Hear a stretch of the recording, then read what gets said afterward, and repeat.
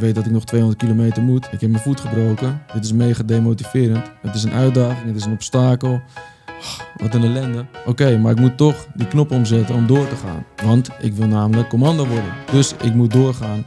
Dan moet ik rennen, vliegen, springen, vechten, whatever. Ik ga het gewoon fixen.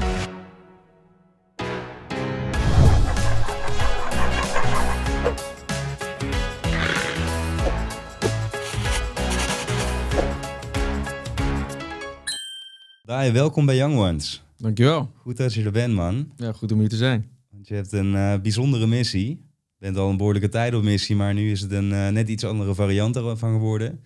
En we gaan de luisteraars vandaag een soort gereedschapkist in handen geven, een toolbox, waarmee dat ze leren om beter met stress om te gaan, met uitdagingen om te gaan, met tegenslagen. De dingen die eh, iedereen in meer of mindere mate in zijn leven tegenkomt. Maar ook met name jonge mensen die, eh, die struggelen nogal de laatste tijd en eigenlijk de afgelopen jaren denk ik wel. Tijden veranderen. En ik las in eh, je boek, om die er maar meteen even bij te pakken mensen, nu of nooit. Schrijf je al op een gegeven moment, um, commando speciale operaties zijn gewend om in de schaduw te werken. Maar de tijden zijn veranderd en dat in de schaduw werken, dat uh, moet dus ook wat meer in de zichtbaarheid zich gaan afspelen. Om misschien wel het hele volk wat te laten leren van wat wij allemaal leren in die, uh, die zware omstandigheden waarin we dat we opereren. En daarmee verklap ik het al voor een deel. Jij bent commando speciale operaties. Je hebt een fantastisch boek geschreven, Nu of Nooit, over mentale kracht. Over hoe dat je die mentale kracht kunt trainen en kunt opbouwen. Want dat kan volgens jou. Zeker. Je bent vader. En uh, ja, ik ken jou de tv-programma Kan van Koningsbrugge voornamelijk. Als gewoon een heel prettig persoon om naar te kijken, om naar te luisteren. En die met alle levenslessen dat hij in de afgelopen, is het, 32 jaar? Ja, ik ben nu 32 jaar. Precies, heeft opgedaan. Uh, het leven van anderen ook een stukje beter probeert te maken. En die mensen ook diezelfde soort tools aan anderen probeert te geven. Dus dat geeft genoeg uh, gesprekstof om het komende uur over los te gaan.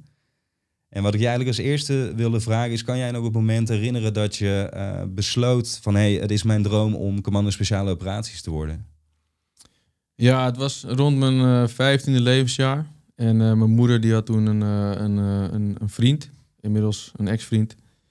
En die was sowieso een beetje van de oude stempel. Ehm, en um, was uh, Joods opgevoed en zijn vader was dus tijdens de Tweede Wereldoorlog uh, gevlucht uit Nederland. Een Engelandvader noemden ze dat toen. Dus die ging een klein boontje naar Engeland toe. En daar sloot hij zich aan bij de Prinses Irene Brigade. Om van daaruit weer um, bij de commando's aan te melden. En vervolgens is hij naar Nederlands-Indië geweest. En nou ja, goed. Dus die ex-vriend van mijn moeder die vertelde me daar verhalen over. Uh, rond de periode ook dat, dat het niet zo lekker ging op school. En, Ja. um, ik was gewoon zoeken en hij merkte dat. Nou, iedereen merkte dat volgens mij in mijn omgeving. Ik voelde dat zelf ook. Waaraan merkte je dat? Was je tegen draads of? Uh, nou, dus de, de thuissituatie was niet echt uh, top. Ik ben uh, in, dat, in dat jaar, dus toen ik 15 was, ik denk een stuk of nou ja, acht keer of zo verhuisd met mijn moeder. Ehm, dus niet ideaal voor, voor leren. Ja. En um, ja, en hij was wat strenger en wat uh, disciplinairder. Dat, had hij ook vanuit zijn uh, jeugd meegekregen van zijn vader. En hij kwam toen met het idee van, hé, hey, maar kun je daar misschien niet je energie in kwijt? En um, ergens, wat, wat er ook in zat, was... Ik was toch ook wel, hè, als jonge jongen, als jonge man... was ik ook wel een beetje op zoek naar een soort van uh, manier... om mezelf te testen, zoals, ja, zoals, zoals oudere volkeren dat deden... Hè, met door misschien een jongen van 13 of whatever, wat voor leeftijd, de jungle in te sturen en um, een paar dagen later te laten terugkomen ja. als, als man, zeg maar. Nu zie ik dat anders. maar daar was ik toen wel naar op zoek. Ja. En um, voor mij was het nou, in ieder geval. Bedoel je met jezelf testen dan ook, ook een beetje jezelf bewijzen? Want dat is natuurlijk ook wat veel jonge mensen hebben. Je bent pas net op deze planeet. Je ziet allerlei andere mensen, oudere mensen van allerlei dingen doen. Maar je moet je eigen stempel nu drukken of zo natuurlijk. Of zie je dat op dat moment op een andere manier? Ja, nou ja, ik denk. Ja, ik weet niet of het precies de stempeldruk is, maar in ieder geval een soort van laten zien inderdaad. Of, of voelen dat ik, uh, dat ik klaar was voor de grote boze wereld. Ja. Dus door iets te doen waarin je jezelf dus fysiek en mentaal test. En um, nou ja, toen ging ik op onderzoek uit en ik, ik kwam uit op uh, Special Forces, commando's. En dacht, ja, dat, dat moet ik dan doen. Want als ik mezelf uh, wil uh, gereed maken voor deze wereld, dan is, dat, dan is dat de ultieme test. Ja. En, ehm, en zo is die droom ontstaan. Want dat is het wel een beetje. Hè? Van als je kijkt naar het, het hoogste niveau eigenlijk binnen Defensie, om het zo te noemen. Dat is commando speciale operaties worden. Dat is de, de top zeg maar, van die, eh, die divisie, om het zo te Ja, noemen. ja, dus in Nederland heb je, dan heb je het over SOF, Special Operating Forces. Ehm, en binnen Nederland heb je twee eenheden. En je hebt ook een eenheid binnen het Corps Mariniers. Dat heet Marsov. Eh, dat is ook dus een speciale eenheid van, maar dan van de marine. Ja. En eh, van de landmacht is het Korps Commandotroep. En, en die opleidingen die verschillen wel van elkaar. De, nou, andere cultuur, et cetera. Maar in principe zijn dat de twee speciale eenheden van het leger.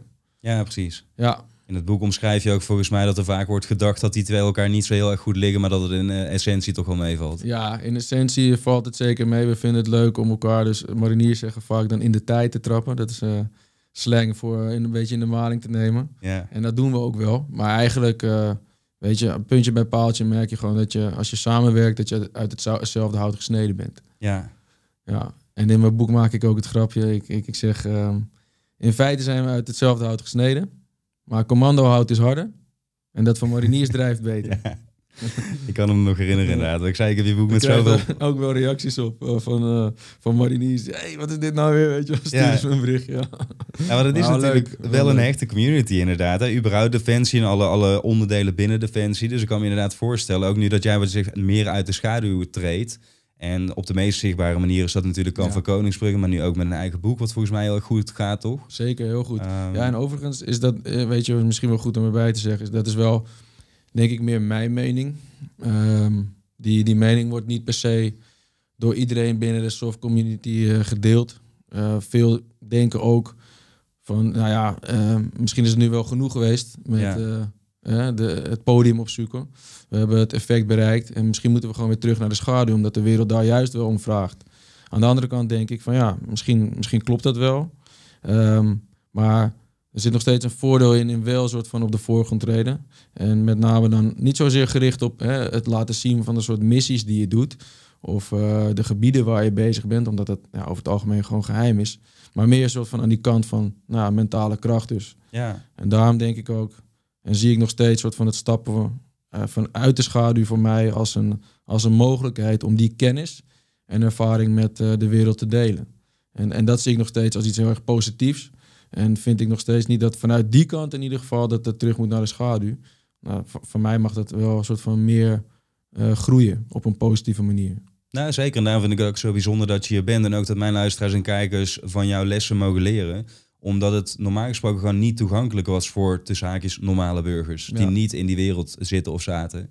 Dus eh, daarom zou ik zeggen, als je nu luistert of kijkt, dan let goed op, schrijf bij wijze van mee. En eh, bestel dat boek of doe in ieder geval wat je moet doen. Maar er zit heel veel kernachtige informatie in die al honderden jaren meegaat eigenlijk. Maar je moet het maar net zien en je moet het maar net tot je krijgen en ermee aan de slag gaan. Dus ehm, wanneer je het komende uur luistert en dus goed meeschrijft en meedenkt van hé, wat van, van dit verhaal kan ik in mijn eigen leven toepassen? Wat zijn herkenbare situaties die ik in mijn leven toe, eh, eh, tegenkom, waar dit soort technieken, eh, strategieën of gewoon simpelweg bepaalde oefeningen, die daar heel waardevol voor kunnen zijn, dan kom je zelf een heel erg stuk verder. Want wat jij ook zegt, ja, je doet het niet voor jezelf, maar je doet het juist voor die anderen. Ja, Dus als zij het dan aannemen, en dat doe je, eh, kan ik denk ik ook uit jouw ervaring zeggen, wel iets sneller van een commando speciale operaties dan van een, een random iemand, zeg maar. Dat neem je toch sneller wat serieuzer, wat eh, die, die mensen zeggen. ja blijkbaar. Ja, dat, ja. is wel het mooie, toch? Het, het respect, daar gaat het ook eh, in, het, in het boek over. Ja. Ehm, wel een belangrijk onderdeel, toch? Ja, ja zeker. Voor, voor mij wel in ieder geval. Omdat ik denk dat het... ja, weet je, ja, dat, schrijf ik ook in het boek. Eh, we zijn niet zoals eh, de Amerikaanse maatschappij... waar eh, Amerikanen echt behoorlijk worden geëerd. Weet je, je krijgt een military discount. En als je in bijna alle soorten winkels komt... Dat hebben we niet in Nederland. Maar ehm, ja, weet je, we doen, we doen wel veel als, als, als leger. We hebben veel professionele militairen, mannen en vrouwen, die zich gewoon willen inzetten voor een betere wereld. En ik vind dat daar meer respect voor mag zijn. En dat geldt dus ook voor, nou, ik noem het dienders. Dus ehm, weet je, ook mensen binnen de zorg, politie, brandweer. Ja. Ja, ehm, dat zijn dienders van de maatschappij. En ik vind dat die vaak te weinig eh, credits krijgen, ja. Voor Ja. hetgene wat ze doen. Ben ik ook met je eens hoor. Want precies wat je zegt, die beroepen die staan er in die zin uh, onbekend dat je heel veel inzet moet tonen. Je moet er eigenlijk alles uh, voor opgeven en voor over hebben. Uh, maar als je gaat kijken naar de mensen die vaak in de maatschappij wel geroemd worden, die hebben natuurlijk ook een hele grote financiële vergoeding die daar meteen tegenover staat. Die krijgen wel al die, die genoegdoening, zeg maar. Um, en dan kun je je soms zelfs afvragen, niet dat diegene dan per se iets verkeerd doen of andersom. Het gaat er meer om van in welk perspectief van importantie zeg maar, plaats je het. Van wat, wat is nou precies de rol die je vervult in de samenleving? En dat is niet om de een op een voetstuk te zetten of de ander juist de afgrond in te trappen. Maar het gaat er meer om van hey, wel even met heldere ogen blijven kijken naar wie nou, wat nou precies voor rol vervult in uh, dit geheel wat wij dus de samenleving noemen. Ja. Dus daarom vind ik het inderdaad wel goed dat je het uh, op die manier zegt. Thanks. hey, um, jouw verhaal is dusdanig uitgebreid. En dit is ook geen podcast, zei ik ook al toen ik je uitnodigde, voor um, mensen die per se de opleiding tot commando bijvoorbeeld willen gaan volgen. Uiteraard kunnen die er ook heel veel uithalen, maar we hebben niet de tijd om en je hele uh, verhaal daarin te gaan bespreken en die mentale lessen. Dus wat ik bedacht heb, is dat we aan de hand van die, uh, het trainen van die mentale kracht ook een aantal verhalen die ik heel erg tot de veel verbeelding vond spreken van jou gaan uitlichten. En dat we op die manier die gereedschapkist eigenlijk uh, voor mensen gaan opbouwen. En dat die aan het einde helemaal vol zit en dat iedereen uh, gewoon aan de slag kan. Nice, oké, goed plan. Dus um, waar ik eigenlijk mee wil beginnen is dat jij zegt van nou, de, de, de paraplu waar, dit, waar we dit allemaal onder gaan gooien is mentale kracht. En mentale kracht dat speelt zich af op fysiek niveau, cognitief niveau, emotioneel en spiritueel voor jou. Dat zijn eigenlijk de elementen waaruit je dat kunt, uh, kunt ja, gaan opbouwen. De vier componenten, ja. Precies, vier componenten. En om daar een startpunt in te kiezen van die componenten, uh, zeg jij dan van nou, dan is mindset uh, het meest logische punt om bij te beginnen? Of hoe zie je dat zelf altijd? Ja, dus wat ik in het. Ik heb op basis van zeg maar, mijn boek heb ik ook een model ontwikkeld. Nou, daar zitten die vier componenten in. En uh, die kun je dan ook wat verder uit, ja, meer toelichten, zeg maar. Ehm, mindset ben ik het boek mee begonnen. Eh, vind ik een hele belangrijke, omdat het gewoon richting bepaalt. En dat heeft dus te maken met of je een groeimindset hebt of een vaste mindset, growth en fixed mindset. En, en dat is soort van een beetje alles bepalend eigenlijk, weet je wel. Als je, als je, dat, dat staat gewoon aan de basis van, uh, van zeker een reis tot commando speciale operaties worden. Of eigenlijk uh, alle, alle levensdoelen die je hebt. Als je ondernemer bent, en je wilt een bedrijf beginnen, ja, met een fixed mindset, of laten we zeggen grotendeels fixed mindset, ga je er niet komen. Want dan ga je vastlopen, omdat je nou ja, obstakels ziet als een probleem en niet als een uitdaging. Als je van andere mensen te horen krijgt hoe je het beter kan doen, zie je dat als negatieve kritiek in plaats van positieve feedback. Een uitdaging, ja, dat is ook iets vervelends, want dat, dat voelt oncomfortabel. Ja. Uh, in plaats van, oh oké, okay, een uitdaging, daar krijg ik energie van, let's go. Als andere mensen iets goed doen, dan zie je dat als een bedreiging in plaats van een uh, inspiratie. Ja. En er is ook een beetje het verschil tussen van oké, denk je dat mensen gewoon per definitie uh, dik of dun zijn, stom of slim, dom of slim. Ja. Uh, allemaal van dat soort uh, Precies, gedachten. maar met name gericht op het zelf. Ja. Dus, um, dus het bestaat uit een, een set overtuigingen um, die bepalen of dat je ergens een open groeimindset in hebt of, of een vaste mindset. Dus bijvoorbeeld nou ja, ik, uh, ik kan niet uh, rekenen. Weet je, als je dat tegen jezelf zegt, dan is dat een behoorlijke overtuiging. Maar is het ook echt zo, weet je wel? Ja. Um, nou, en zo, en zo zijn er wel meer dingen. Of, of ik ben daar niet goed in. Nee, oké, okay, maar klopt dat eigenlijk wel? Want ergens heb je jezelf dat aangepraat. En dat ligt aan de basis van mindset. En mindset valt voor mij onder de categorie um, cognitief. Ja. Omdat het met name gaat over gedachteprocessen en overtuigingen die ja, die zich afspelen binnen die gedachteprocessen. En, en dus heeft het heel veel nut om inzicht te krijgen in of je nou wel of niet ergens in, uh, of het nou een, uh, een, een procesmatig iets is of een, een, een, vaardigheid, of je daar dus een groeimindset in hanteert of een fixed mindset. Ja. En dat is heel waardevol. Wat natuurlijk ook wel interessant is, want dat vond ik zelf ook heel erg interessant toen ik, daar, uh, toen ik dat ontdekte is je, je groeit natuurlijk op. Uh, als, als kind ben je van heel veel dingen überhaupt niet echt bewust hoe die nou tot stand zijn gekomen. Maar dat die gedachtepatronen waar jij het over hebt, zo zie ik mindset. Van het is gewoon een set aan gedachtepatronen die gedurende de tijd in je zijn uh, gesleten, zeg maar. Dat je over slechts 5% van die gedachtepatronen een bewuste keuze hebt gemaakt ooit. Van hé, hey, dit ga ik voor waarheid aannemen. Dus met andere woorden, van als jouw ouders vroeger gewoon altijd hebben gezegd van ja, maar jij bent te dom om te studeren, Mm. is de kans 95% dat je dat gewoon voor waar hebt aangenomen. Of eigenlijk misschien nog wel meer. Omdat als je het wel bewust had besloten dat je ouders zijn en je wat zij zeggen toch al eerder voor waar aanneemt. Ja, Dus ehm, het enige wat je dat vertelt is dat eh, inderdaad heel veel dingen die wij denken niet per definitie waarheid zijn, maar gewoon op de een of andere manier tot ons zijn gekomen. Of het nou door de media is of door andere mensen in ons leven. Wat dus ook zegt dat je dat weer kunt veranderen op een gegeven moment. En dat is natuurlijk wel heel erg prettig. ja, veel dingen wel inderdaad. Ik, zou niet willen, ik durf niet per se te zeggen dat het alles, weet je, dat je alles kunt veranderen. En daarnaast is het ook goed om aan te geven dat fixed mindset klinkt dan meteen een soort van heel negatief, weet je, maar dat is het niet. Ehm, maar het is gewoon interessant om op ontdekking, ontdekking uit, uit te gaan van, oké, maar in wat voor gebieden ben ik dan een soort van meer fixed Ja. en, en wat is dan meer growth? Eh, juist omdat je dat dan misschien dus wel kunt veranderen. Want misschien kun je die fixed mindset op een bepaald gebied eh, dan wel veranderen. Laten we zeggen dus dat het ondernemen is. Als iemand zegt, eh, ja, ik ben geen ondernemer. Oké, maar waar baseer je dat dan op, weet je wel? Is dat echt zo? En kun je dan, stel je zou het willen veranderen, kun je het dan veranderen? Ja, want dit is ook iets wat jij benoemt. En dat is ook een te- techniek die ik vaker toepas, is het bevragen van die gedachten eigenlijk, toch? Dus ehm, ja, dat kun je zelf beter uitleggen. Maar het is ook een techniek die je uitlegt in het boek. Van Ja. hey, als je dan bij jezelf op een gegeven moment die patronen herkent. Bij mij was zo'n patroon vroeger dat ik eh, dacht van ik ben een mbo'er en die zijn niet slim genoeg om te studeren.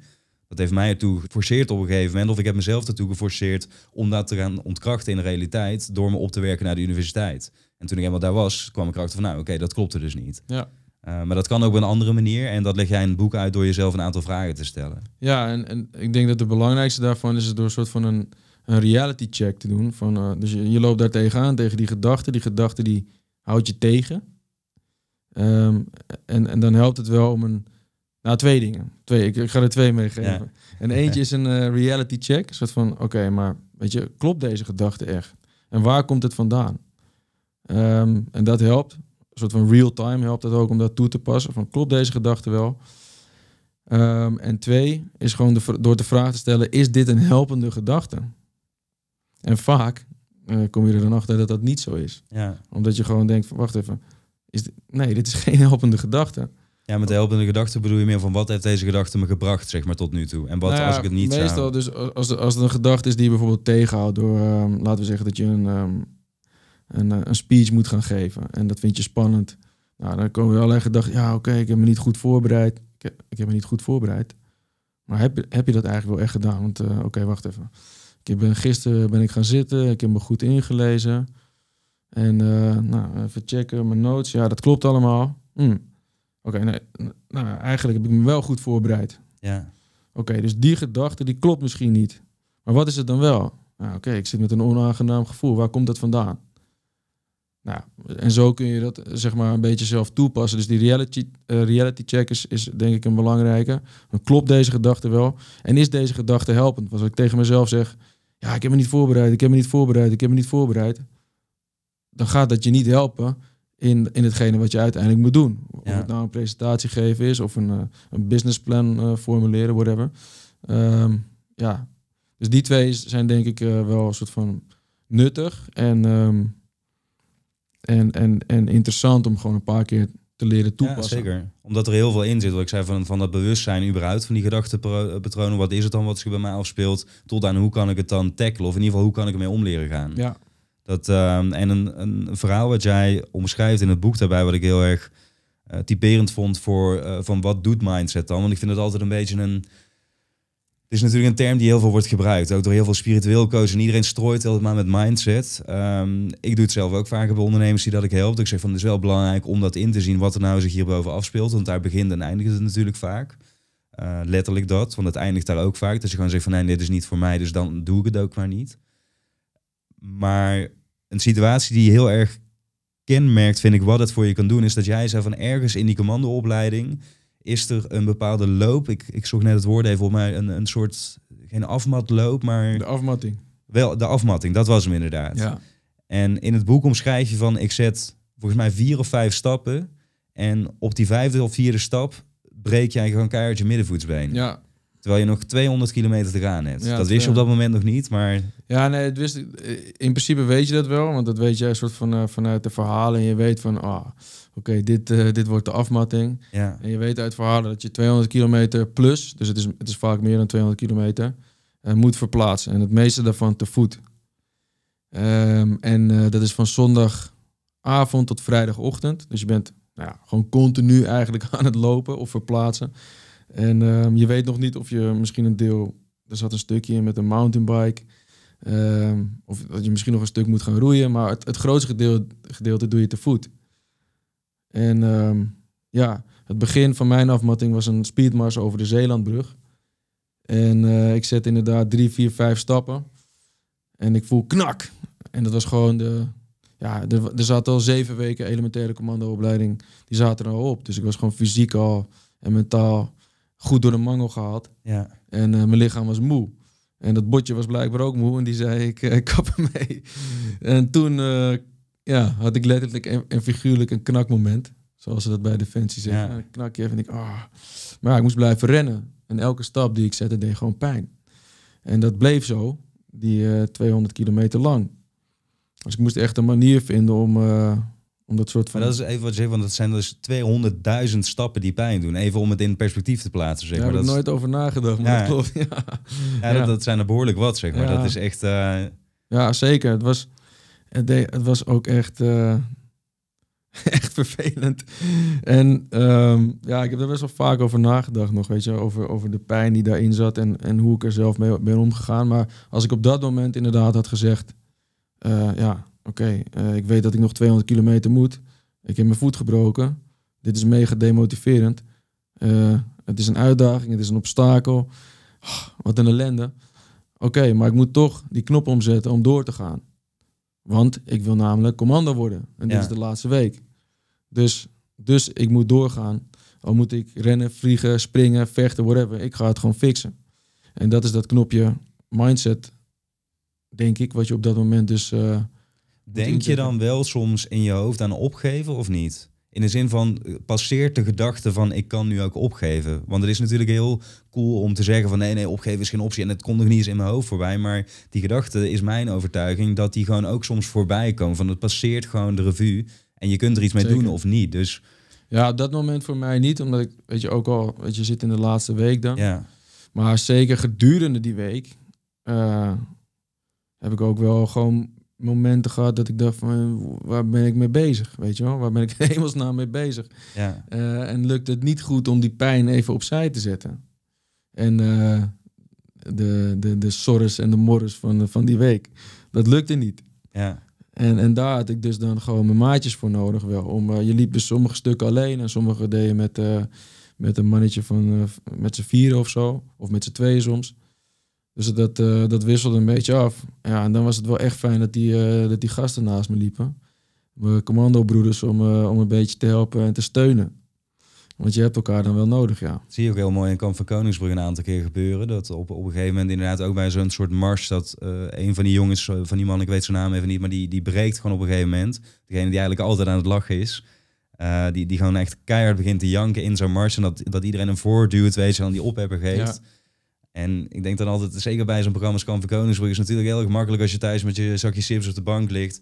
en mensen krijgen het zwaar of denken eraan om op te geven... of in ieder geval alles wat zich daar afspeelt om daar een oordeel over te vellen. Want Ja. jij zit lekker comfortabel onder je dekentje... en het is heel makkelijk om daar op te gaan eh, spouwen. en ik vind het altijd zo interessant dat ik inderdaad juist denk van... nou, ik zou zo graag willen weten wat er zich inderdaad in je hoofd afspeelt. En als mensen dat dan keer uitspreken... dan krijg je er juist een heel uniek inkijkje in Ja. het middel van zo'n programma. Kun je zelf of denken van nou, ik zou dat heel anders doen en beter doen. Of je kunt er juist van leren van hé, maar dit is op dat soort momenten hetgeen wat je dus verder kan helpen. Ja, zeker. En een van die dingen die je ook dan zegt is van op momenten van twijfel. Dus jij zei van nou, op dit moment had ik het nog steeds heel erg duidelijk op mijn net- netvlies, want ik was al bijna bij de eindstreep. Maar die twijfel die heel veel mensen kennen, ook jonge ondernemers inderdaad, young professionals die het voor het eerst aan een eerste baan beginnen bijvoorbeeld. Eh, voor het eerst een eerste baan, dat kan inderdaad ook mee een keer, maar goed.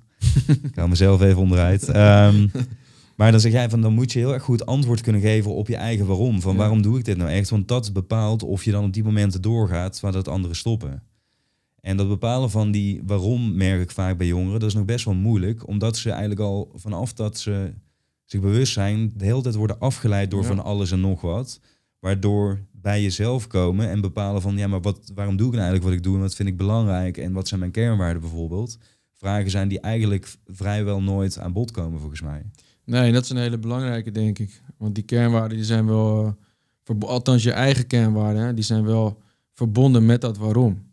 En dit is het denk ik een hele mooie ehm, soort van opdracht aan jezelf om erachter te komen wat jouw kernwaarden zijn. Weet je, wel, begin met eh, drie of vijf en, en het uitschrijven waarom dat dan zo is. En waarom die woorden, want het zijn vaak woorden, hè, eh, vertrouwen, liefde, verbinding, Ja, broederschap, waarom die dan belangrijk zijn voor jou.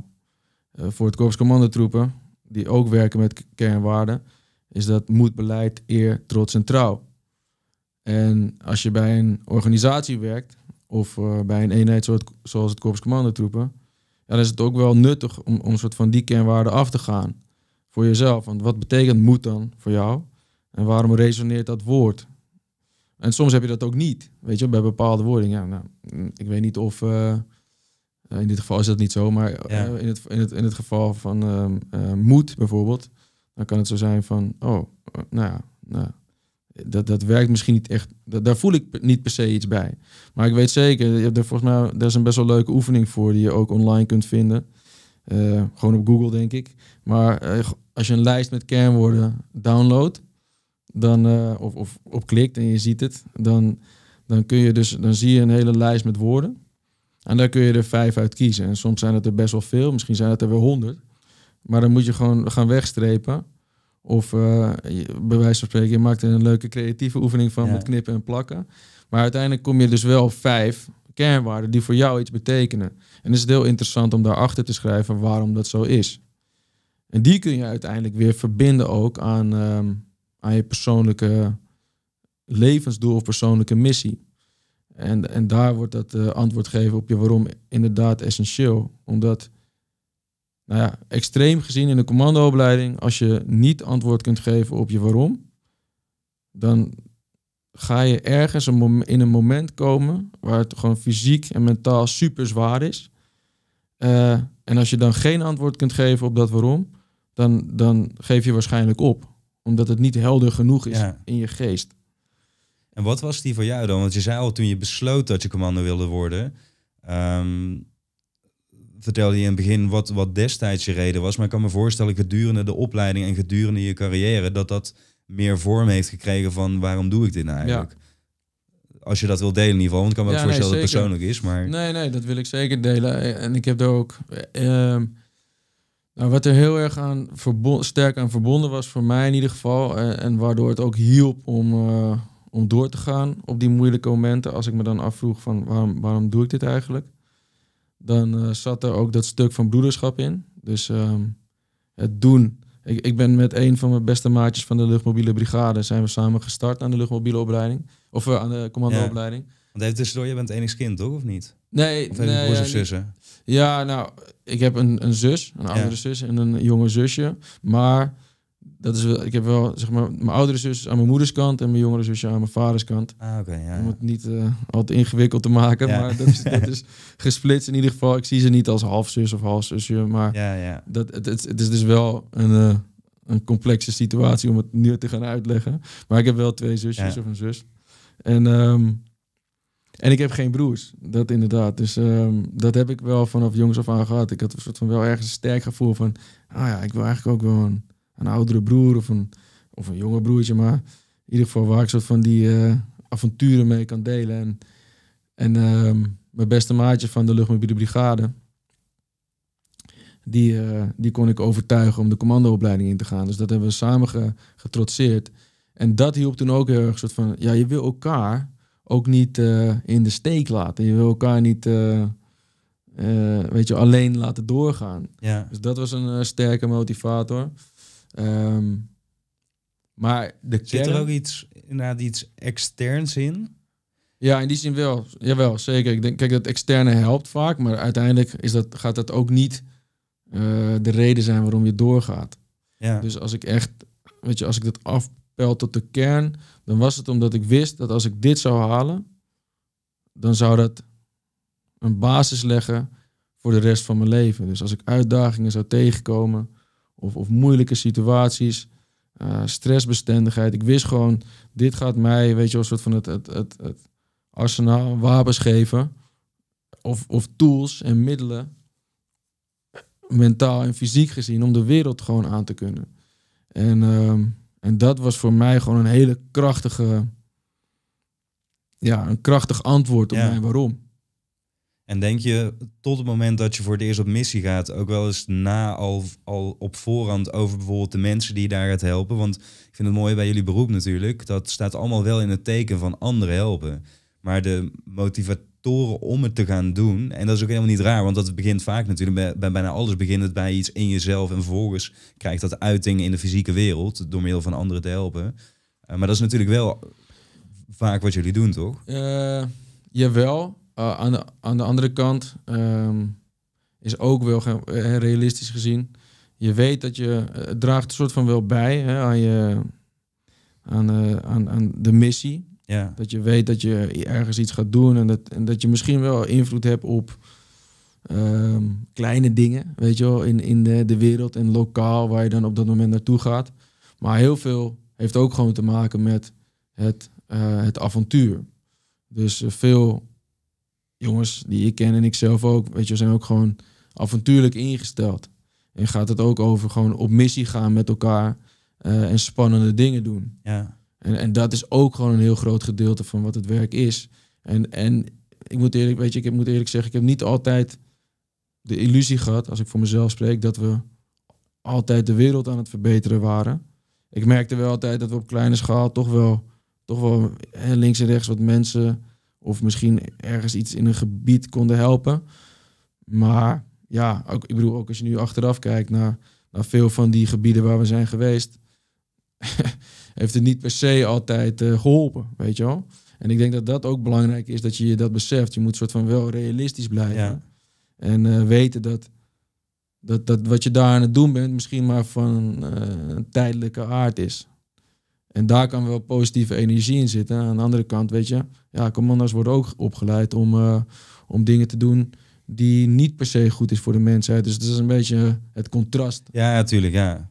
Maar ik denk wel ook, want als je natuurlijk over grotere lijnen gaat kijken, kan ik me voorstellen dat je dan misschien terugkijkt. Dat, dat lees ik ook wel vaker over mensen die bij Defensie hebben gewerkt, dat ze zich dan naar de hand beginnen af te vragen van ja, maar waar was het nou allemaal goed voor? Ik heb mm. zoveel ellende gezien, meegemaakt. En wat heb ik nou daadwerkelijk eh, daar, daar veranderd?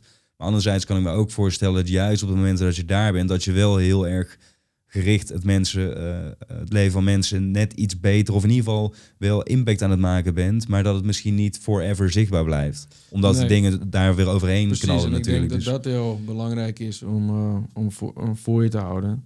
Je moet daar wel echt realistisch in blijven. Want als je dus echt soort van uh, ja, met de gedachte er naartoe gaat dat je nou, dat je de wereld gaat veranderen en dat je echt mensen gaat helpen, dan kom je nog wel eens van een uh, koude kermis thuis. Want het is niet altijd zo.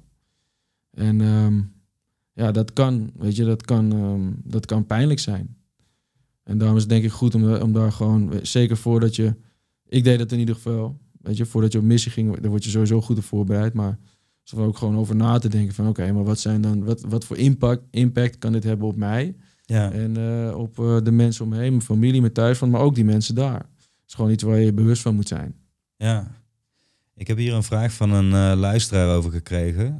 wat ik zeg, ik heb veel vragen voor je ontvangen, omdat mensen ook heel erg geïnteresseerd zijn in hoe beleef jij dan bijvoorbeeld dingen, of hoe beleven commando speciale operaties bepaalde dingen.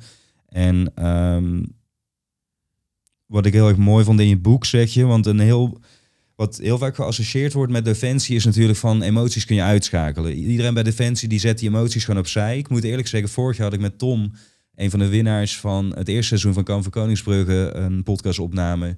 En toen was mijn vraag aan hem ook dat ik zei van, hey, heb jij de, het idee nu, nu dat je daar een tijdje bij, binnen Defensie hebt rondgelopen, dat hetgeen wat je daar hebt geleerd, je in, het, in de normale wereld helpt? Want ik had vaak het beeld van iemand die leert daarin het compleet om zichzelf af te sluiten, uit te schakelen. Die komt thuis bij zijn gezin en dan heb je een soort blok beton waar niemand meer iets mee kan.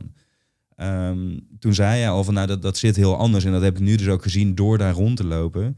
En jij zegt daarover, en dan zal ik daarna de vraag noemen uh, in het boek. Pijn is er met een reden, want het vertelt je iets. Dat pijn een emotie is die je kunt uitschakelen is onzin.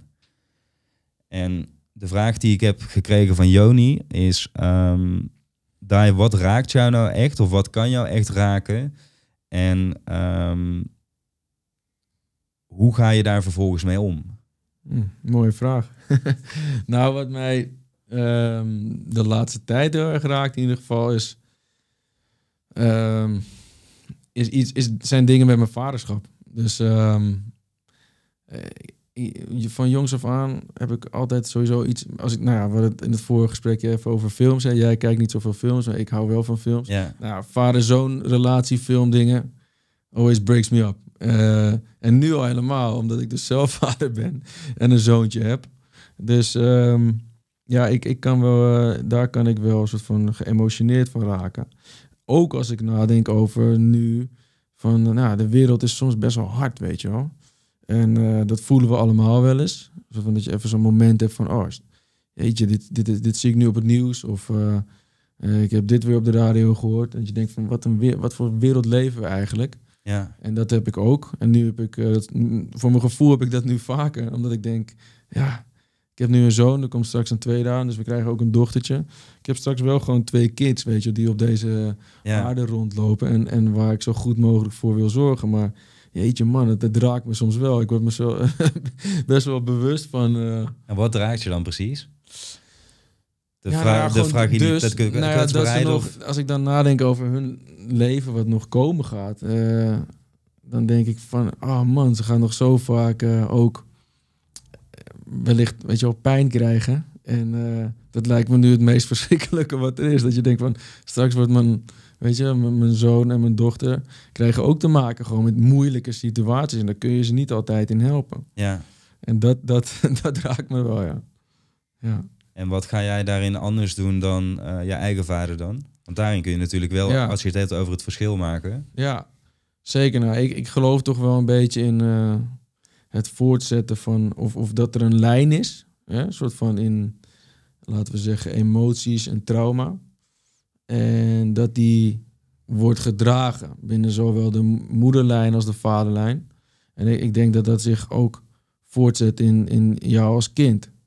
En ik denk dus dat je ergens ehm, als ouder ehm, het inzicht moet hebben. Dat hebben ze denk ik niet altijd, maar voor mijn gevoel heb ik dat wel. Een soort van waar dan die oude pijn in zit en waar het oude trauma in zit. En dat je dus ook de controle hebt om daar een einde aan te maken. Dus Ja. een soort van die, die lijn te doorbreken en eh, iets nieuws te gaan doen. En daarmee wil ik niet zeggen dat ik, een, he- dat ik een verschrikkelijke jeugd heb gehad. Helemaal niet, maar het is er wel. En, en dingen die mijn opa deed, leven voort in mijn vader. En leven voort in Ja. mij. En als ik daar dus een soort van inzicht in heb, zeker zowel de goede als de minder goede dingen, nou, kan ik daar dus invloed op uitoefenen. En kan ik dat gaan veranderen voor mijn kids in ieder geval. En ik denk dat daar dus een stuk, als het gaat over emotie, dat daar een belangrijke eh, in zit voor mij. Ehm, want, nou ja, mijn vader is Engels. Eh, Mijn opa zag eh, bommen vallen op Londen. eh, rond die tijd, dus rond de Tweede Wereldoorlog natuurlijk. Dus ehm, ja, een beetje van de, de, de, de British stiff upper lip en geen emoties, weet je wel, tonen. Ja, Ja, dat, eh, dat zit denk ik wel in mijn vaderlijn of zo, weet je wel. Dus ook bij mij zit dat een beetje. En ik denk met name als het gaat over emoties, daar meer open in zijn. En ook eh, over praten. En eh, nou, als je een keertje boos terugkomt van school, van een schoolpleintje en er is iets gebeurd. weet je wel, dat, dat die emoties er ook, ook mogen zijn. Met name dus ook verdriet en pijn. Wat vaak dus nu wordt weggestopt. Je mag niet huilen als, zeker jongetjes, hè, mogen niet huilen. ja, ja. Nou, meisjes denk ik ook eh, dat het vaak gewoon wordt gepusht vanuit huis van waarom jank je nou? Nou ja, hey, nee. Laat die emoties er zijn, want ze zijn er met een reden. En laten we erover communiceren, eh, zodat eh, het een, een plek mag krijgen. En ik denk dat ik daar, ehm, ja, daar zou ik wat meer mee willen doen in ieder geval. ja. Ja. Is dat die ook dus iets waar je zelf heel erg in ontwikkeld bent? Omdat je zegt van, nou, als- als je dat van huis uit misschien minder hebt meegekregen, omdat er ook dat dat misschien niet bespreekbaar was of dat het uiten daarvan gewoon niet gebruikelijk was. Dat je dat gedurende de rest van je leven wel meer hebt moeten aanpakken, dat het voor jou echt een ontwikkelpunt was, zeg maar. Ja, ik denk dat het ook echt nu pas iets is van de laatste ehm, drie jaar misschien wel voor mij. Want wat je zegt klopt ook. Ik bedoel, als je op missie gaat, eh, dan is het ook heel logisch dat je bepaalde dingen wel uitzet. Of in ieder geval hè, dat Ja. de, de, de weerbaarheid hebt om nare gebeurtenissen langs je heen te laten glijden. Ehm, omdat het gewoon niet nuttig is om op dat moment soort van daar ja, eh, door getrokken te zijn. Omdat het je afleidt van je taak of je missie op dat moment. Dus als je dan thuis komt, is het, ja, kan het best wel zo zijn dat je wel thuis komt als die, dat, dat, dat, dat blok beton. En duurt het eventjes voordat, eh, voordat eh, weet je wel, ehm, voordat het beton een beetje Ja. afbrokkelt. Ja. Ja, of niet. Maar dan is het dus denk ik zaak dat mensen hulp gaan zoeken, omdat, eh, omdat dat blok beton niet altijd zelf breekt. Ja, want dat vind ik dus het moeilijkste eraan inderdaad. Dat, eh, er is één moment, en daar hadden wij het over toen ik jou aan de telefoon sprak eh, met Bart in Kamp van Koningsbrugge. Waarin je ziet hoe dat opgekropte emotie, dus echt als je jarenlang dingen in jezelf hebt gehouden en, en weet je wel, dat verkrampt hebt opgesloten in jezelf, dat wanneer dat eruit komt, dat dat niet alleen eh, mentaal eruit komt in allerlei uitingen, maar dat het zelfs fysiek, zeg maar. Dat iemand gewoon staat te hoesten en te, zeg maar, dat alles er gewoon letterlijk uitloopt, zeg maar.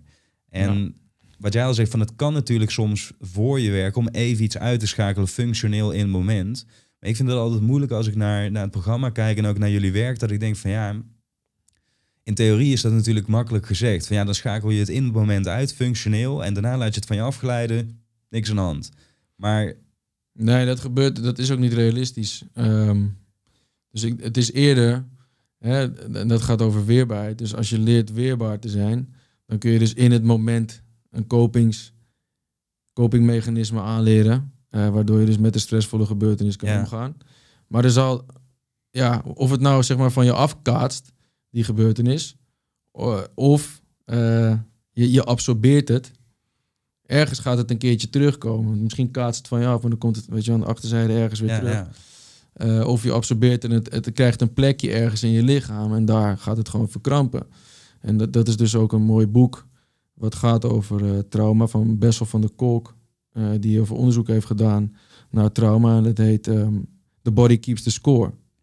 ja. En eh, ik heb daar ook een stukje van gebruikt in mijn boek. Van het lichaam houdt de score bij. En dat is ook zo. Met stressvolle gebeurtenissen houden er gewoon rekening mee. Dat ook al voel je het nu niet, het kan jaren later terugkomen. Want eh, als je dus niet een bepaalde soort van methode of manier leert om met die emoties die gepaard gaan met zo'n moeilijke gebeurtenis om te gaan, ja, dan gaat het een keertje terugkomen. Dus daar gaat het denk ik meer over voor mij. Van het, is, het is nuttig om weerbaar te zijn. Ja. Maar het is ook nuttig om te weten van oké, nou prima, ik ben weerbaar. Maar wat doe ik dan met de, de shit die ik heb opgeslagen? ja. En daar gaat het over. En emotie tonen en bijvoorbeeld een keer huilen is inderdaad ook gewoon puur een ontlading van dat wat Ja. je hebt, hebt, op, hebt opgeslagen Zeker. inderdaad. Ja. Als we dan even eh, de overstap maken, eh, want dit gaat allemaal eh, net zo vloeiend als dat ik het had gehoopt, maar daar inderdaad omgaan met stress, omgaan met bepaalde angsten, eh, twijfels, dat, dat kennen we allemaal en ook zeker nogmaals de mensen die dit luisteren, want dat is toch ook wel een typerend iets voor de millennial slash generation Z gene- generatie, dat er veel eh, twijfel, angst en paniek eh, heerst en stress. Dan ehm, zijn er meerdere momenten in het boek waarop jij daar ook heel open over bent, wanneer jij dat hebt ervaren. Je zegt bijvoorbeeld van hé, de eerste keer uit een vliegtuig springen was iets waar ik niet per se om stond te springen, want het was wel iets wat voor mij een bepaalde drempel in zich had, voor heel veel mensen natuurlijk. Eh, je noemde een moment waarin je eh, niet slaagt voor een eh, belangrijk schietexamen. Bepaalde schietopleiding, wat je heel erg raakt op dat moment. Omdat je dan weer ook een jaar langer moet wachten, volgens mij, totdat je Ja. weer op mag. Dus ik kan me voorstellen dat... ehm, nou, in het begin gaat het dan meer over een bepaalde angst natuurlijk. Dat uit het vliegtuig springen. Zeg ik dat goed? Voordat je waar- woorden in de mond legt. Ja, nee, nou, waar het meer over gaat, denk ik, is inderdaad dus eh, falen. ja. En eh, sowieso, kijk, dat parachutespringen, dat is, dat is gewoon spannend. Ik vond, het, ik vond het ook spannend om te doen. Het was niet dat ik dacht, van, ik vond het ook leuk om te doen. Ik wilde het graag doen. Maar wat aan de andere kant ook in zit, is dat je wil laten zien, je voelt de druk van eh, de instructeurs eh, in de opleiding. Die natuurlijk ook gaan kijken van, eh, ja, kan deze gast wel een beetje zijn hoofd koel houden terwijl hij Ja. uit een eh, vliegtuig springt. Ja, er is veel eh, meer angst om te falen dan inderdaad. En dat is natuurlijk Ja. een hele bekende angst. Ik ben er ook heel erg bekend mee. Ja. Dus dat is een betere verwoording, ja. ja, en dat zit gewoon ook gewoon eh, behoorlijk in die opleiding. Dat je denkt van oké, je wil gewoon altijd laten zien ook van dat je het kunt. En dat je in staat bent om de opdracht zo goed mogelijk uit te voeren. Ook onder stressvolle omstandigheden. En dat is waar die commandoopleiding weet je, in essentie over gaat.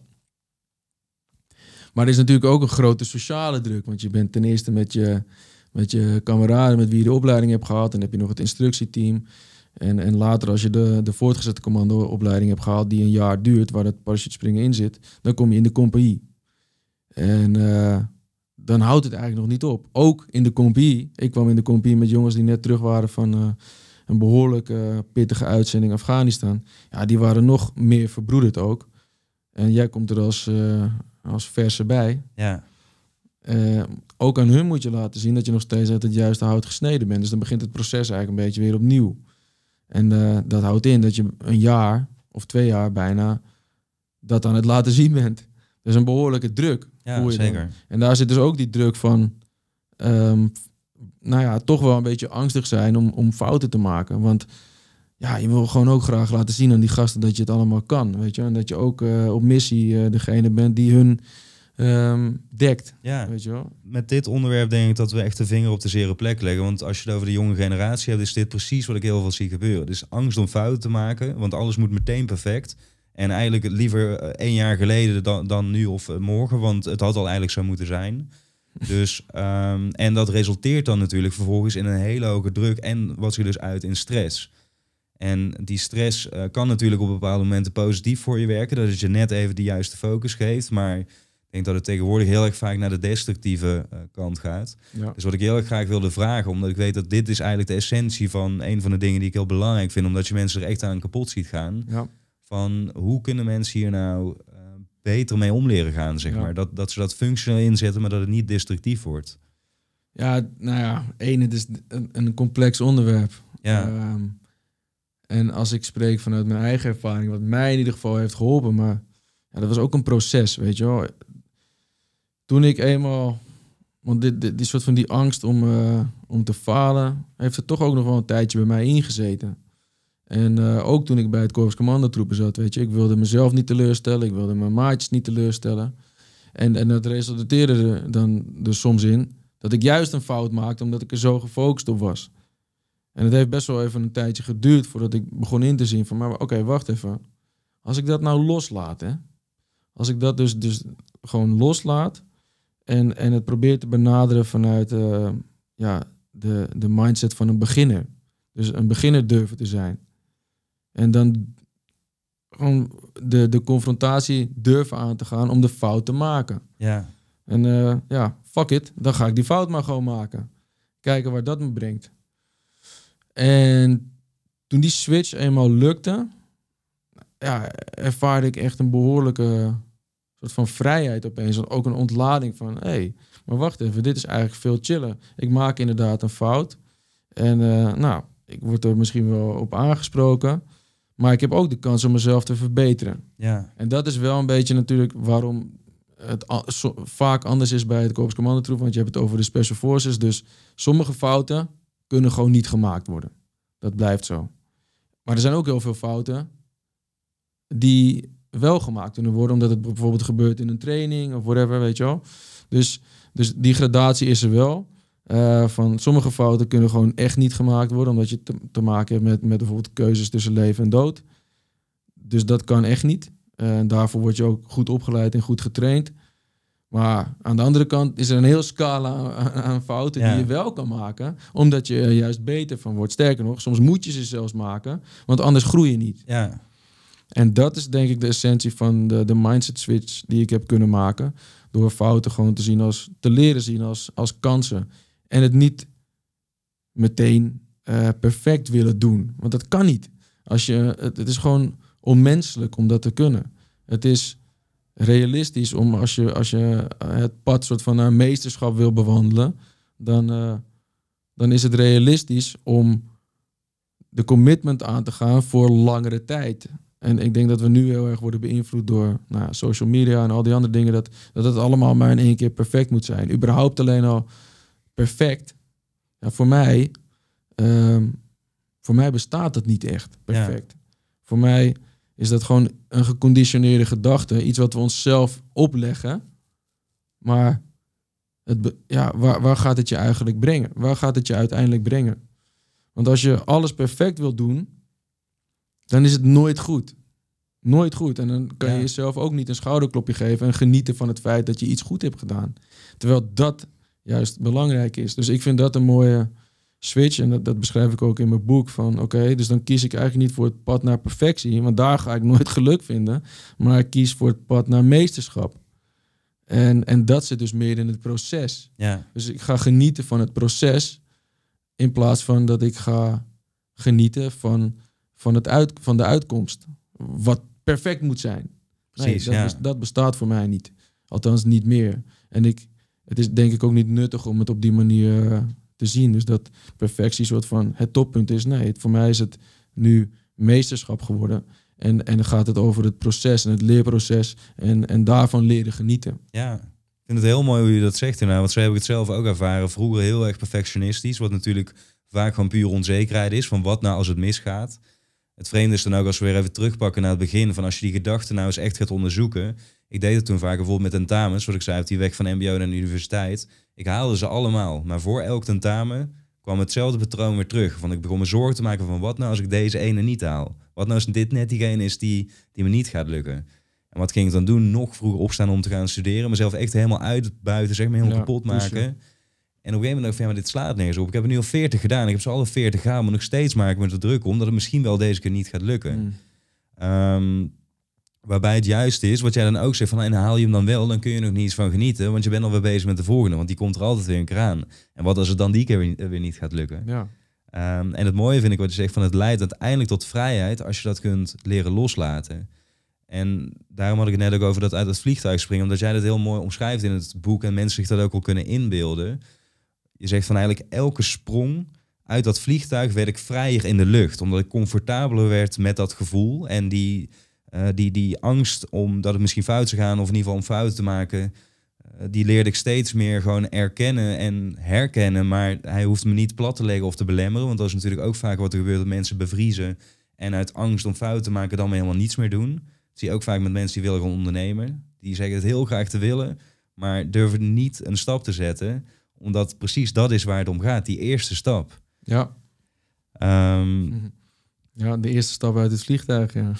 Ja, ja, ook daar weer. En dat, dat kun je op heel veel analogieën. Want dat is natuurlijk soms moeilijk bij eh commando speciale operaties. Dat het dusdanig ehm, Ver van je bed. joh. ver van je bed is Mhm. inderdaad. Dat mensen denken van ja, maar ik hoef nooit uit een vliegtuig te springen. Maar eigenlijk springen we elke dag allemaal ergens uit een Ja, vliegtuig. Zeker. Eh, want voor iemand anders kan, kan eh, het aanspreken van iemand op straat net zo spannend voelen Precies. als dat uit het vliegtuig springen. Precies. Ja, dat zeg je goed. Dat is, dat, is, dat is waar het over gaat. En uiteindelijk gaat het dus ook over die, die spanning en stress die we allemaal ervaren. En daar, daarmee leren omgaan. En het voorbeeld wat ik geef in het boek inderdaad, is het vrije worden in de lucht. Is door toch elke keer wel die stap te zetten, word je langzaam comfortabel met het, eh, met het gevoel van oncomfortabel zijn. Ja, En, en leer je steeds beter te herkennen van oké, nou, nu voel ik me zo. Ehm, maar ik heb ook wat meer controle. Want hey, ik voel opeens dat ik op deze manier in de lucht lig. En als ik mijn elleboog naar beneden doe, dan kan ik een rondje maken. En als ik deze naar beneden doe, maak ik een rondje. En op een gegeven moment wordt het, oké, nou, ik lig gewoon, ik spring dat vliegtuig ja, uit. ja. En ik, heb, ik ga er met salto's uit en ik voel me niet meer... Er is altijd een lichte vorm van spanning natuurlijk. Je, je springt niet zonder eh, spanning dat vliegtuig uit, eigenlijk nooit. Ook niet als je er honderd keer of weet ik veel, sommige Ja. gasten springen natuurlijk duizenden keer uit een vliegtuig. Ehm, die spanning verdwijnt nooit echt helemaal. En dat is ook goed, want je hebt die spanning ook nodig Ja. om uiteindelijk wel eh, nog steeds scherp te zijn. Als die spanning weg is, dan gebeuren de ongelukken. ja, dus het heeft inderdaad een hele belangrijke functie. Ja. ja. Alleen het moet niet zoveel spanning worden dat, je, dat het je gaat beperken. Want dan wordt het dus angst. Zo zie ik, nou, zo zie ik angst. Angst ehm, is zoveel spanning en stress dat het je beperkt in je prestatie. Of dat het je beperkt in het leven. Omdat Ja. je bijvoorbeeld niet meer de deur durft uit te gaan. Of niemand, iemand niet durft aan te spreken. En, en dan wordt het dus belemmerend. En dan is het denk ik heel belangrijk om, eh, om daar iets aan te gaan doen. Ja. En je zegt dus inderdaad van nou, één van die dingen die je eraan kan kunt doen, dat is coping. Dus dat is ga die, die situatie juist doorleven, zeg maar. Dus ga die angst aan en zeg maar, word er comfortabel mee dat die er is. Onderzoek het. Eh, ga er steeds iets vrijer in worden. Iets anders wat je zegt, eh, en dat ziet hem dan vooral op die uitingsvorm van stress, van hoe je daar beter mee kunt omgaan, is dat heel veel mensen, die eh, jongeren, die maken zich heel vaak druk, die leven een beetje in de toekomst in hun hoofd van wat nou als het niet lukt bijvoorbeeld. Dat, dat is dat je een toekomstige situatie voorstelt en je visualiseert eigenlijk continu van wat nou als dit misgaat, wat nou als dit misgaat. Daardoor komt die stress op. Bij mensen die wat meer op leeftijd zijn, wordt dat vaak spijt op een gegeven moment. Dat ze weer deel in het verleden leven en terugkijken van oh, waarom heb ik dat toen nou zo gedaan of niet gedaan. En het mooie vind ik, en dat is een tool die ik heb ontdekt uh, toen ik in een soort van burn-out zat en dus heel erg veel last had van paniekaanvallen en allerlei stressklachten, uh, is ademhaling. De kracht van ademhaling. En die komt sinds ik het zelf heb ontdekt bij alle topsporters die ik spreek, artiesten, uh, Michael Pilarczyk, een soort van persoonlijke ontwikkelingsmeester, zal ik hem even noemen, is zijn woord. Maar in ieder geval, ademhaling komt overal terug, zo ook in jouw boek. Uh, waarin je ook een aantal hele heldere oefeningen eigenlijk omschrijft. Van hey, bijvoorbeeld als je in het moment stress ervaart, kun je dit doen. Als je aan het einde van de dag even juist tot rust wilt komen, de dag wilt verwerken, kun je dit doen. Zou je er eens één kunnen noemen? En misschien ook een van de toepassingsvormen hoe jullie dat binnen het korps, uh, ja, die ademhaling toepassen binnen bepaalde situaties? Ja, toen ik in de opleiding zat, was dat nog niet echt uh, iets wat ze deden. Dat is iets meer van de laatste, nou, ik denk drie, vier jaar misschien. Dat ze dat integreren in de opleiding. Um, omdat het een, belangrijk onderdeel is. En dat, dat, dat erkennen ze ook. Dus een uh, human, human performance team die houdt zich bezig met dat soort dingen integreren in de opleiding. Maar toen uh, bij mij was dat nog niet zo. Dus ik kwam vanzelf een keer door gewoon mijn eigen interesse op uh, een artikel over tactical breathing. Dus hoe de Amerikaanse Special Forces ademhalingsoefeningen inzetten voordat ze een, een actie ingaan. Ja. En uh, nou, toen ben ik dat dus ook gaan toepassen met dat, met dat schietexamen uiteindelijk, wat ik een jaar later mocht herkansen. En dat werkte voor mij heel goed, omdat ik gewoon merkte dat het focus bracht uh, in dat spannende moment. En uh, ja, later, toen ik er onderzoek naar ging doen, kwam ik erachter, hé, hey, maar wacht even, alles wat met ademhaling te maken heeft, dat heeft dus te maken met dat stresssysteem.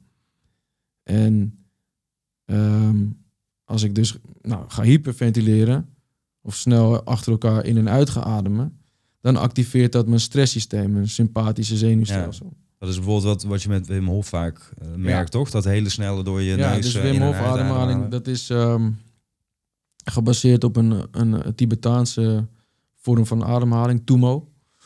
En um, dat is inderdaad hyperventileren eigenlijk. Wat je daarmee doet, is dus je, je stresssysteem activeren. Even kortdurend.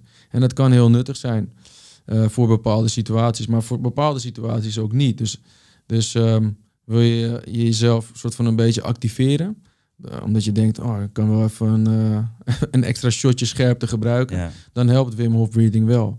En dan kun je die, die app voor downloaden of je kunt YouTube-filmpjes kijken, genoeg bronnen om zeg maar, te laten zien hoe dat werkt. Maar over het algemeen is het 30 tot 40 keer in- en uitademen.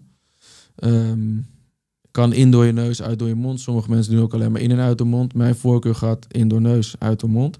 Ja. Gevolgd door een periode van zo lang mogelijk je adem inhouden. Uh, en daarna, als je zo lang mogelijk je adem hebt ingehouden, dan blaas je uit. Neem je nog een keer adem en dan 15 seconden hou je dat vast. En dan begint het zet je weer opnieuw ja. van 30 tot 40. Nou, dat kun je, weet je wel, drie tot vier keer doen van die setjes. Um, maar dat is dus meer een soort van activatie. En als je het hebt over uh, ontspannen en uh, je hartslag omlaag brengen, dan is het belangrijk om je te focussen op je uitademing. Omdat je uitademing je parasympathische zenuwstelsel activeert. Dus je, je rust eigenlijk, ja. je, je, je, herstel.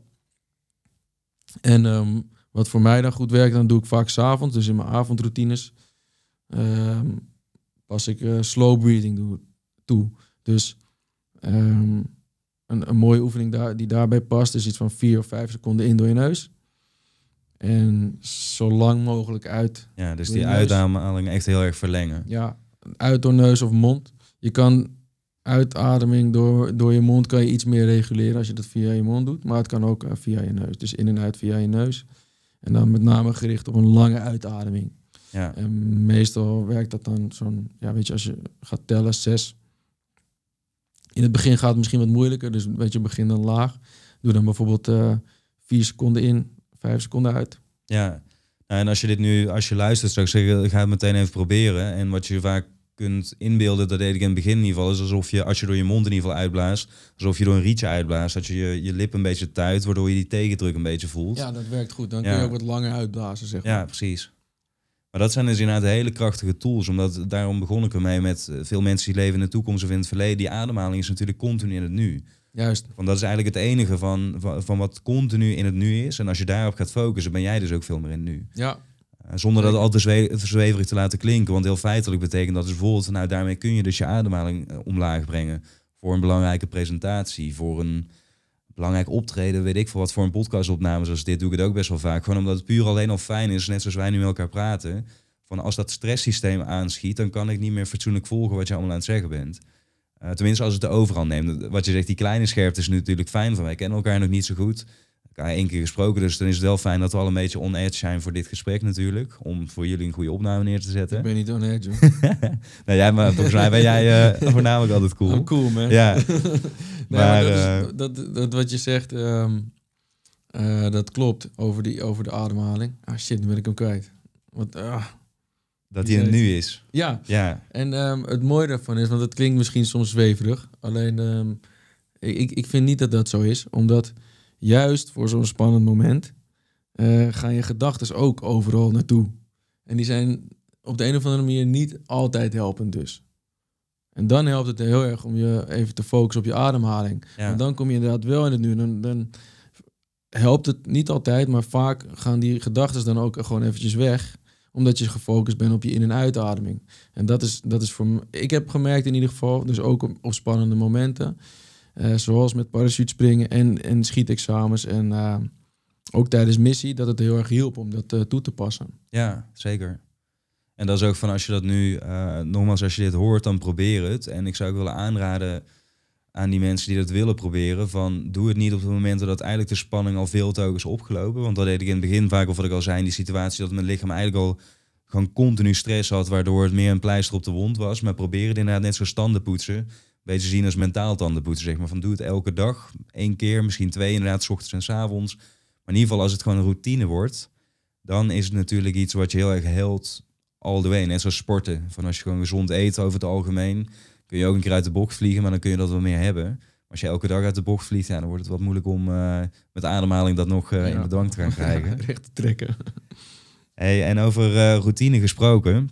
Ik vind het wel nice dat je in het begin tegen me zei van nee, ik ben wel echt een filmfan. Want Sander Jansen, dat is een bekende regisseur uit, eh, hier uit Nederland. Ik weet niet of hij veel films regisseert, maar in ieder geval commercials. En hij is wel een grote naam. Die had een vraag voor jou over routine. En dat wil ik even koppelen aan hetgeen wat je in het boek zegt. Van ja, we leven in een wereld waarin steeds meer afleiding voorkomt. Dat zeiden we net eh, ook al van steeds meer door social media. Je staat eigenlijk op met je telefoon om de wekker uit te zetten vaak. In ieder geval veel mensen. En vervolgens op social media te kijken. En je gaat met datzelfde ritueel, met die routine naar bed. En gedurende de hele dag gebeurt dat ook. En wanneer je je doelen wilt bereiken en wanneer je überhaupt verder wilt komen in het leven, dan werkt het niet goed wanneer dat je continu wordt afgeleid en alles maar blijft uitstellen daardoor. Dus dat uitstelgedrag overkomen waarin veel mensen zich zullen herkennen. Ehm, dan heb je het over onder andere discipline, over wilskracht. Allemaal thema's die we nu niet helemaal tot in een treuren kunnen gaan ontleden. Dat hoeft denk ik ook niet. Maar een oplossing om ervoor te zorgen dat je het grootste gedeelte van je tijd wel gewoon bezig bent met hetgeen wat jij belangrijk vindt en wat je dus ook wilt realiseren, zijn routines natuurlijk. Want daar val je altijd op terug eigenlijk. Wanneer het moeilijk wordt, dan blijven die routines overeind staan. En Sander die vroeg, of die vraagt, daar waaruit bestaat jouw ochtendroutine en hoe belangrijk is deze of überhaupt routine voor jou? Ja. ja, mooi. Dus mijn ochtendroutine is als ik eh, opsta eh, op een werkweek, eh, maandag tot donderdag, dan eh, drink ik eerst even een glas water en dan ga ik stretchen. Dus ik doe wat eh, mobility yoga oefeningen. Ehm, eh, eigenlijk van boven naar beneden. Dus ehm, van boven eerst een beetje mijn nek lo- losdraaien, schouders, heupen, knieën, enkels. En dan doe ik wat stretchoefeningen. Ja, meestal gevolgd door wat core of push-ups. Dus core oefeningen en push-ups. Het ligt een beetje aan, ja, de ene keer pak ik hem iets langer. ligt aan hoe, hè, of ik nog iets, iets uh, snel daarna moet doen. Ja. maar in ieder geval gaat het in die volgorde. En dan... Um, dus echt dat lichaam activeren, dat is wat het doet, toch? Ja, ja gewoon eventjes... Um, even, en ik merk ook wel dat ik gewoon... Als ik het dus niet doe als ik niet dat stretchmoment uh, pak in de ochtend, dan voel ik dat ook. De rest, uh, misschien is het ook wel meer mentaal. Maar ik merk in ieder geval van, oh, hey, ik heb me, I skip my routine today. Dat, ja, uh, precies. Ja. Lekker. En met name omdat het dus ook iets fysieks is voor mij. Sommige mensen integreren ook nou, iets van een boek lezen of zo. Of mediteren nog in de ochtend, dat kan. Maar ja, uh, niet iedereen heeft de luxe om uh, een routine van twee uur lang te doen. Dus uh, mijn advies daarin is, is, is van maak het een beetje klein, weet je wel. En voor mij dus iets fysieks doen, dat helpt heel erg. En wat dat doet, is dat het me gewoon ja, activeert voor de rest van de dag. En um, daardoor ga ik mijn dag met energie tegemoet. Ja. En misschien om het even terug te brengen ook naar mindset. Van het is vaak werkt natuurlijk hetgeen wat je fysiek doet ook weer op je mindset. Dat je, als je het hebt over positieve mindset, kansen zien, meer uitdagingen zien dan bedreigen, allemaal dat soort dingen. Dan is die fysieke activatie wel, wel een hele belangrijke. Want dat creëert natuurlijk ook allerlei stofjes voor in je hoofd meteen. Zeker. Doordat ik dat doe, worden de chemische processen in gang eh, gezet. Ja. Die voor mij positief werken. Dus ik weet dat als ik dat doe, dat er wat dopamine wordt aangemaakt. Uh, helemaal omdat ik mijn ochtendroutine dus afsluit met een, uh, met een koude douche. Nou, dan komt ook weer dopamine vrij. Dus ja. misschien ben ik stiekem toch wel een beetje een adrenaline en dopamine junkie na al die jaren bij de Special Forces. Ja, precies. Nou, het zou niet, uh, niet gek zijn, denk ik. En dan nog even over de van, nou, hoe belangrijk is die routine? Die routine is natuurlijk ook iets waar uh, binnen de opleiding, maar ook binnen Kamp van Koningsbrugge dan ook uiteraard heel erg op wordt aangestuurd. Um, waarom? Ik, ik weet natuurlijk wel waarom, maar meer van wat is er belangrijk hij daarvan om die routines er zo in te stampen, zeg maar. Dat het, dat het gewoon bijna spiergeheugen wordt.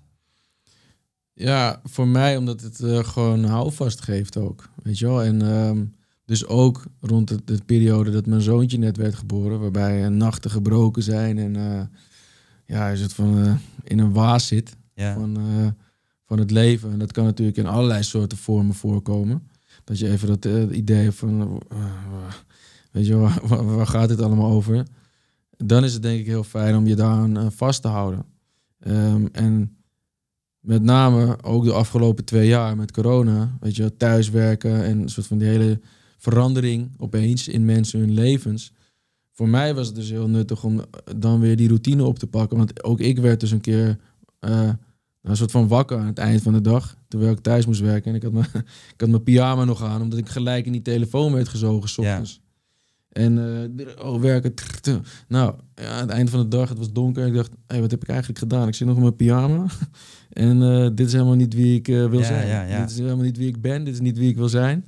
En daar kwam een soort van ook weer het idee van, ja, ik moet gewoon weer mijn routines op gaan pakken.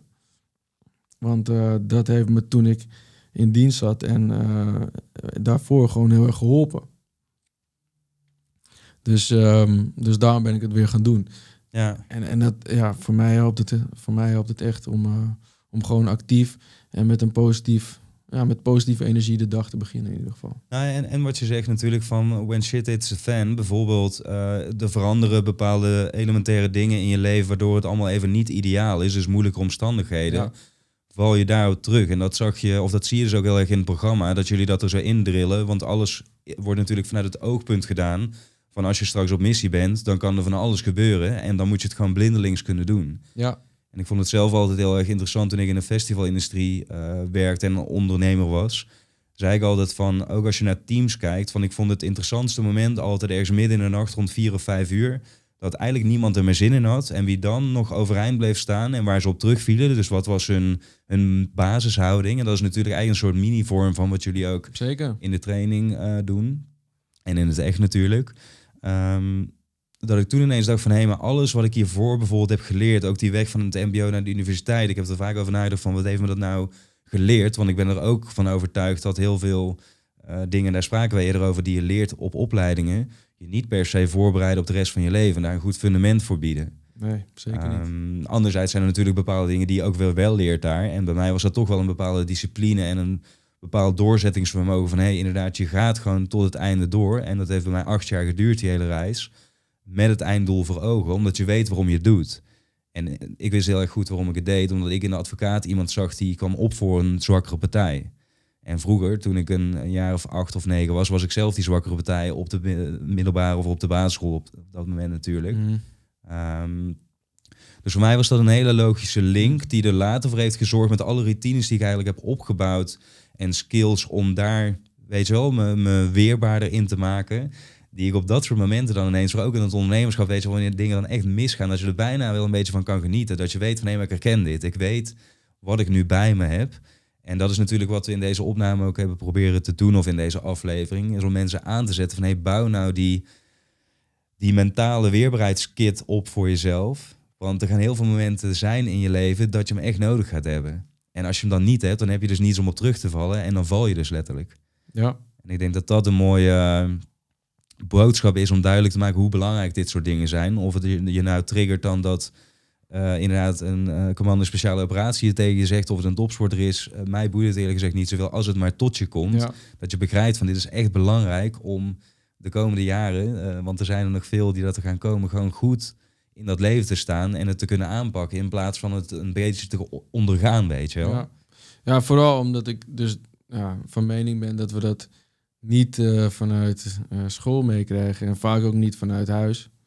In sommige gevallen misschien wel, maar dat gebeurt te weinig, weet je wel. En dat, daarom is een groot... Nou, ik was van de week bij een ehm, middelbare school een lezing geven over mentale kracht. Ah, ja, en dat ja. is wel echt dat ik dacht van, ah, gaaf, weet je, dat is waarom ik, uh, een van de redenen waarom ik dit uh, boek ook heb geschreven, omdat ik wilde dat het bij die jongere generatie terecht kwam.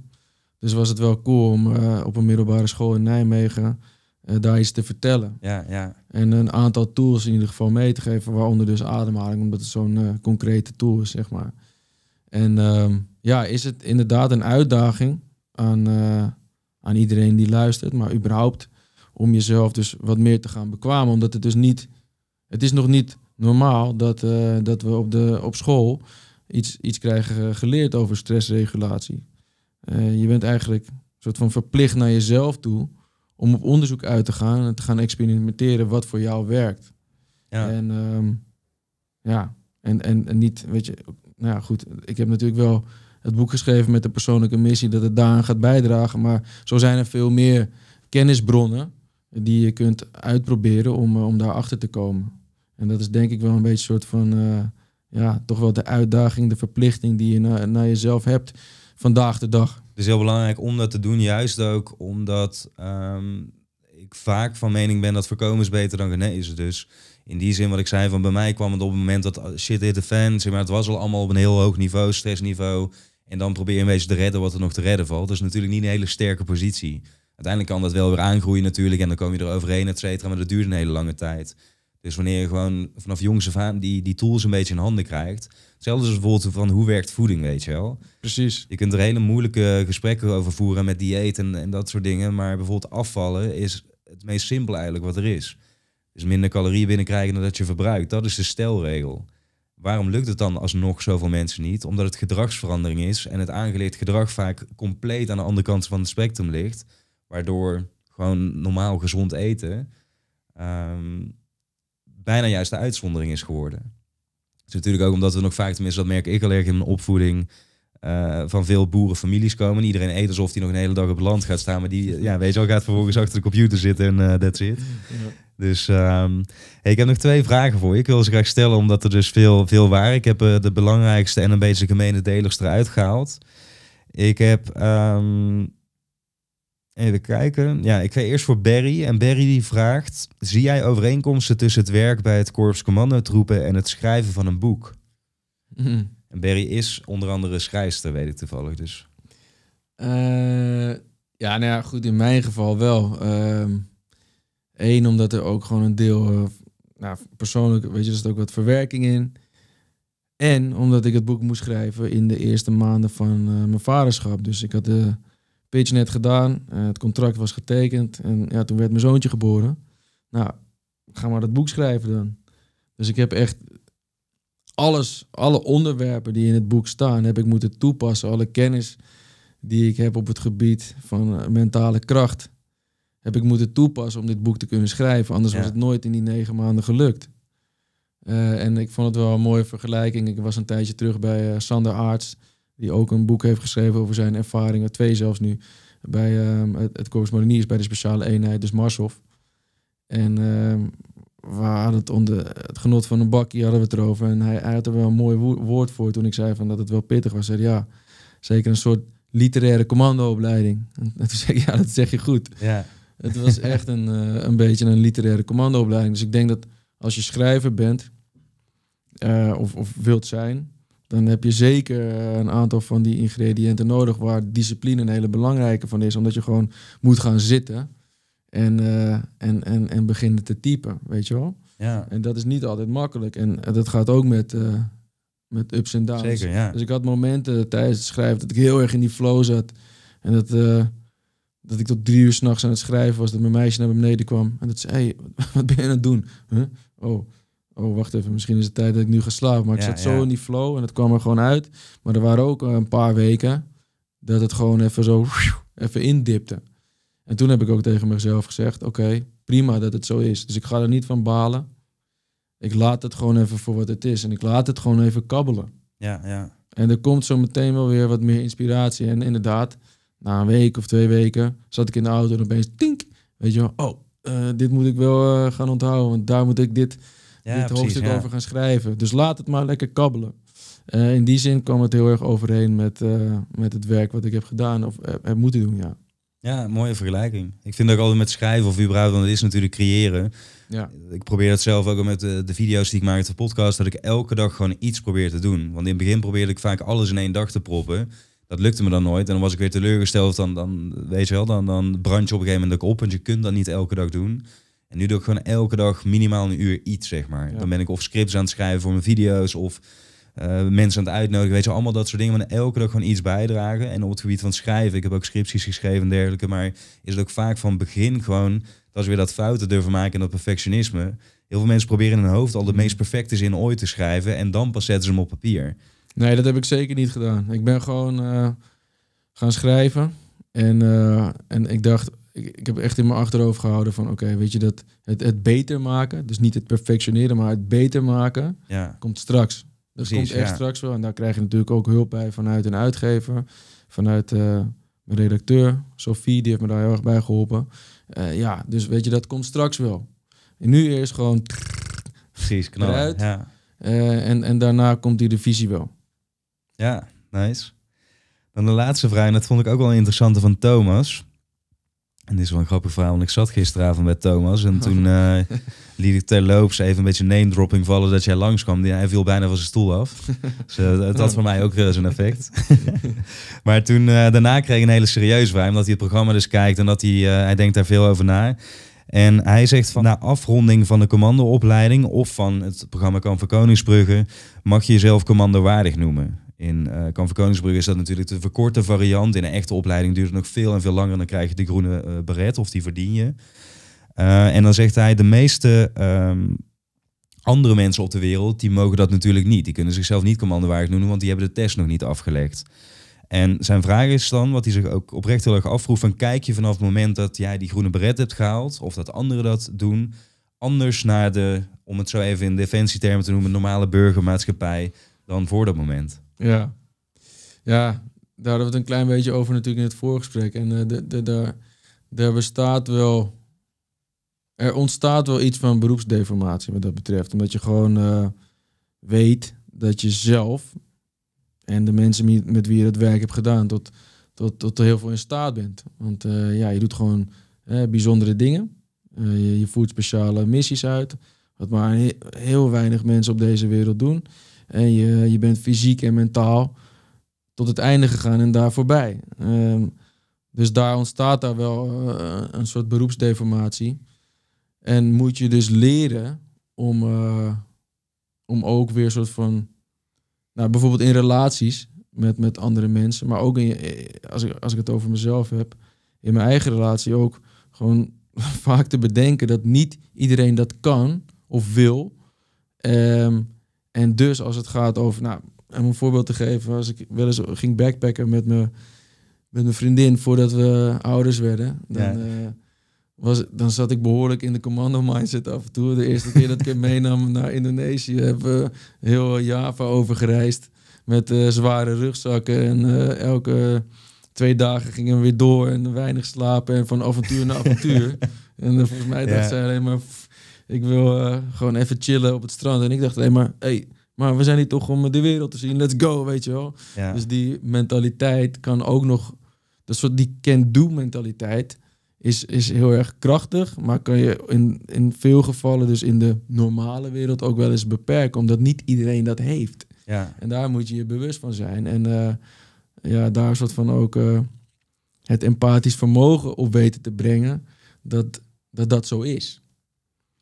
Ehm, en, en dus rekening houden met de ander. Precies, ja. En Dat is het vooral. Je moet je bewust ervan zijn dat niet iedereen dat heeft. Ehm, en ehm, ja, dat is het gewoon. Je moet rekening houden met de ander, omdat niet iedereen dat heeft.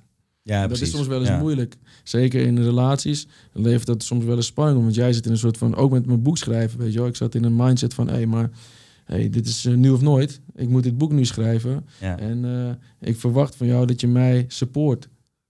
Ja, Eh, zo makkelijk gezegd is het natuurlijk ja, niet. precies, ja. En snap je niet dat ik, ik moet, weet je nu s'nachts schrijven en ik kan dat en prima, weet je. Nou, dat levert wel eens Ja, spanning op. Ja, maar ik denk dat, dat, dat dit voor veel mensen op een bepaald niveau wel herkenbaar is. En ook zeker bij ondernemers. Ik herken het zelf ook Ja. van bij mij thuis. Dat, ik heb het wel eens vaker gezegd, van ik, ik werk überhaupt niet zo vaak tot laat door. Want ik ben vaak in de ochtend gewoon, ik ben een ochtendmens. En heel vaak denken mensen dan van, oh, als ondernemer, dan ben je s'avonds ook nog aan het werken. Dus meestal maak ik gewoon het eten en dan ben ik om zeven uur klaar.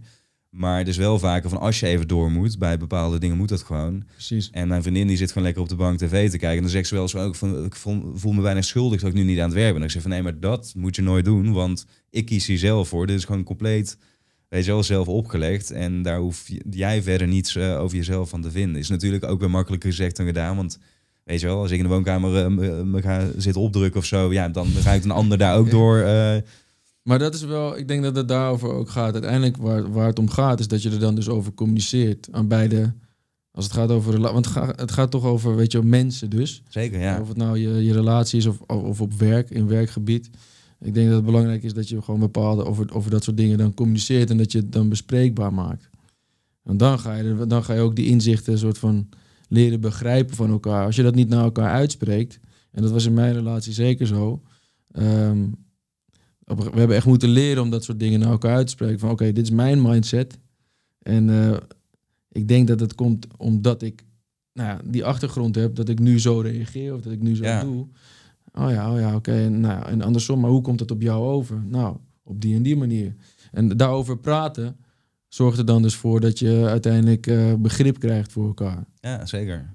Ja. Dus eh, lost de situatie zich dan in die zin niet vanzelf op, want je moet er iets voor doen. Maar dan kan het nog steeds naast elkaar blijven bestaan in plaats van dat het alleen maar conflicten oplevert.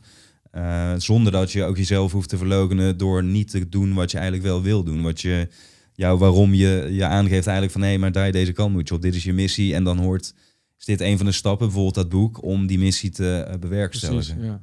Ja, ik wil je bedanken, man. Het Ja, was nice. een heel erg leuk gesprek, heel erg waardevol gesprek. Ik had het al verwacht, maar nu is het ook eh, eh, gerealiseerd, om het zo te zeggen. ja, thanks. Ik ehm, zou willen zeggen, heel veel succes ook met het vaderschap. Wat je natuurlijk al aan het meemaken bent op dit moment, maar binnenkort ja, in de verdubbelde vorm kan ik me Ja. voorstellen. dus dat wordt nog minder Ja. slapen. Ja. Gelukkig ben je dat, eh, dat gewend.